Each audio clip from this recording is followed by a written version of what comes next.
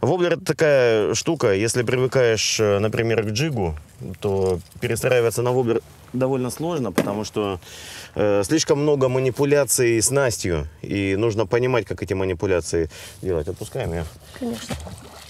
В джиге что? Ты забросил, у тебя приманка упала на дно, и дальше делаешь одни и те же движения, по сути. А здесь э, каждый воблер, по сути, имеет э, свою собственную гидродинамику и требует своих действий.